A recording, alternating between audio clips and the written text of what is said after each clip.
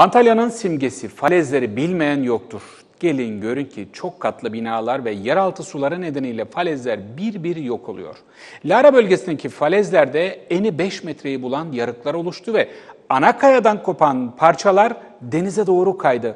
Sizin de bildiğiniz gibi jeoloji mühendisleri önlem alınmazsa göçmelerin evlerin bulunduğu yere kadar devam edeceği kanaatinde.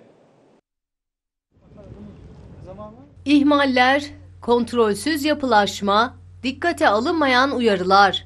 Antalya'nın doğa harikası falezleri göz göre göre kayboluyor.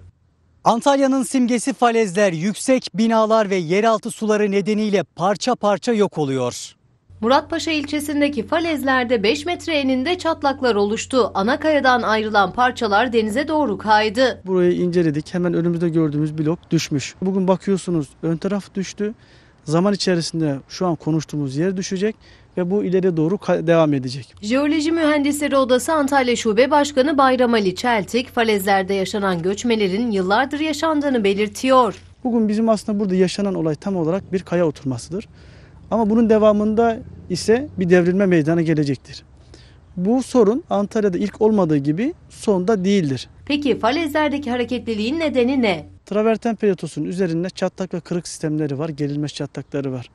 Zaman içerisinde bu gerilme çatlakların içerisine kil doluyor ve hemen yan tarafta gördüğünüz gibi denizde de dalga etkisi falezlere vuruyor. Kayanın yoğunluğu arttığından dolayı denize doğru ve bir oturma oluyor. Falezlerdeki hareketlilik devam ediyor. Bölgeye gelen vatandaşı Muratpaşa Belediyesi yazdığı bu yazılarla uyarıyor. Yapılan onca uyarı ve alınan önleme rağmen vatandaş parkta yürümeye, denizde serinlemeye devam ediyor. Sıradaki haberimize lütfen dikkat edin sayın seyirciler. Çok ilginç bir haber var. Muratpaşa ilçesinde bulunan parkta kadın kılığında oturan bir adamı görenler durumu polise bildirdi. Olay yerine gelen polis şüpheli adamı gözaltına aldı ve neden bu şekilde dolaştığını sordu.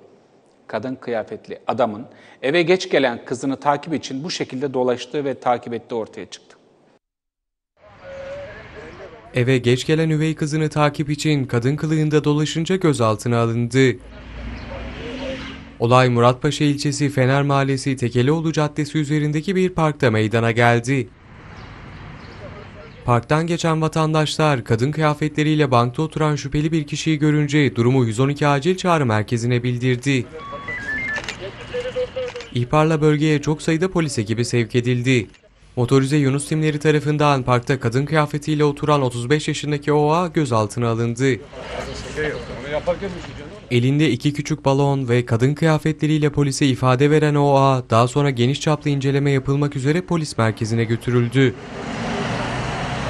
Şüphelinin parka bisikletiyle geldiği ve eve sürekli geç gelen üvey kızını takip etmek için kadın kıyafeti giydiği öğrenildi.